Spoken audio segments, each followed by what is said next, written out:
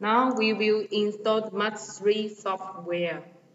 First, find out the Mach3 software in the UDisk and follow the reminder step by step. Next, yes, next, next, next, next.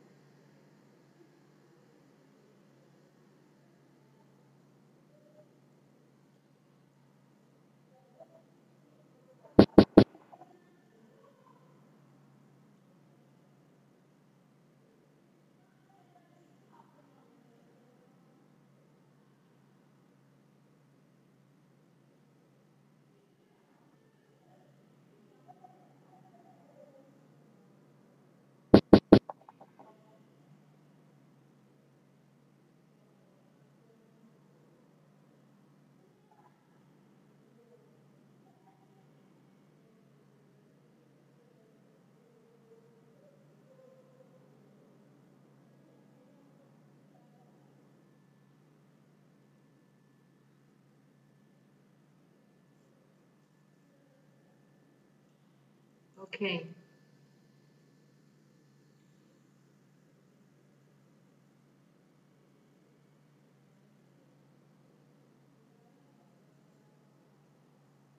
No need to click the install LazyCam. Finish it. After, okay, after install the Mach3 software, back to the UDisk, find out the crack file. Copy all the files inside. Copy it.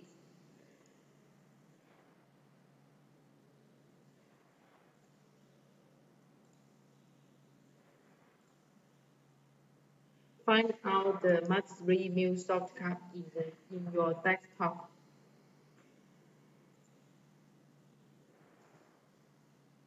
Click right Find the property. Click right. Find the property. Open the document location.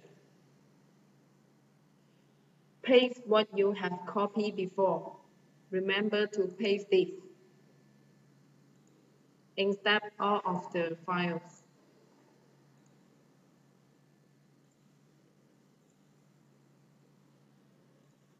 Then restart your computer. After restart your computer, connect your use the data cable to connect your computer with the CNC control box. Open the switch. Turn on the limit over. Keep it in green color. Remove the dot. Open Mach3 New.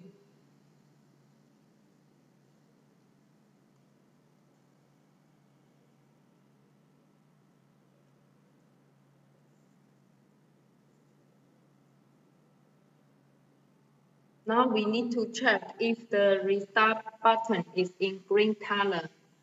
If not, just let it in green color. Tap. And uh, you will find the control.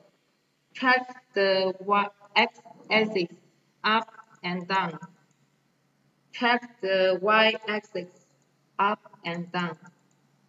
Try the z-axis up and down. Also, if you have default axis, also check it. After check it. Now we need to check if the spindle is working. Insert some number.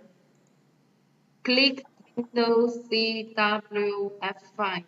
Check if the spindle is working. Now Okay, all thing is finished.